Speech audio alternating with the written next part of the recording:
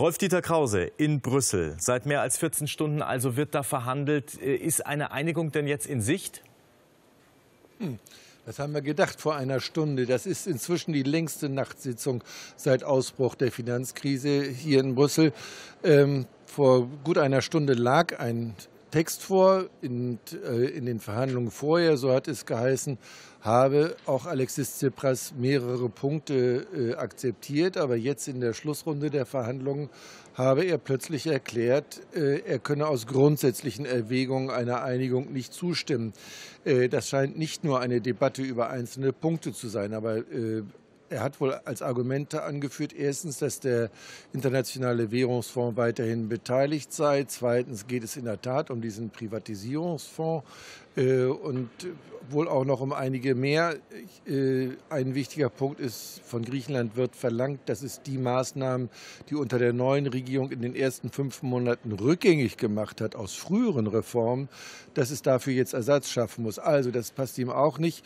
Ähm, es geht jetzt noch mal in ein neues Endspiel äh, bei diesen Verhandlungen und plötzlich, nachdem es lange nach einer Einigung aussah, scheint wieder alles offen zu sein.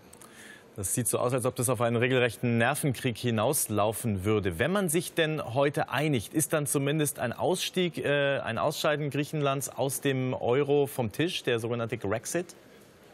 Ja, aber genauso wie Sie es gesagt haben, wenn man sich einigt. Wenn man sich einigt, dann äh, muss Griechenland eine ganze Menge Maßnahmen erfüllen und dann äh, wird es Verhandlungen über ein drittes Hilfsprogramm geben.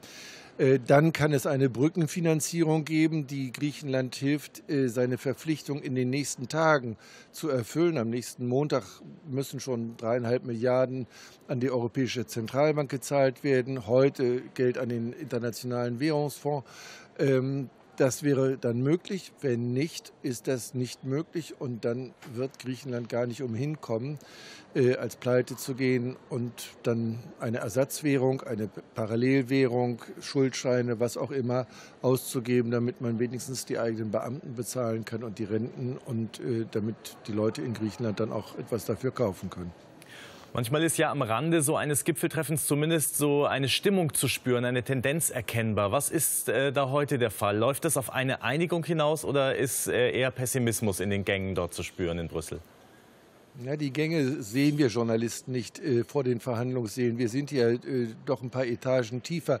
Äh, hier ist, äh, hat man lange Zeit gedacht, dass es auf eine Einigung hingeht, weil eben die Nachrichten aus dem Verhandlungssaal doch zeigten, dass da konstruktiv auch sehr an Details gearbeitet wurde. Äh, und das tut man nicht, wenn man nicht eine Einigung anstrebt. Äh, inzwischen, auch angesichts der Dauer, macht sich so etwas wie ja, fideler Fatalismus breit.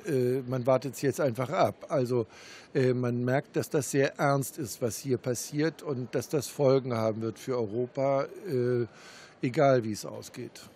Vielen Dank nach Brüssel, Rolf-Dieter Krause.